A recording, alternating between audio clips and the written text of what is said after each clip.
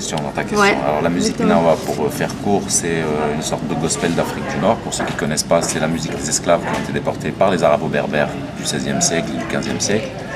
Euh, c'est ceux-là même qui ont fait le, le- le commerce triangulaire après avec les Portugais et ensuite avec les Anglais. Donc c'est la même histoire, hein, c'est l'histoire de l'esclavage. Et donc la musique gnawa et la culture gnawa, c'est la culture et la musique que les esclaves et leurs descendants ont recréé au Maghreb. Donc c'est pas euh,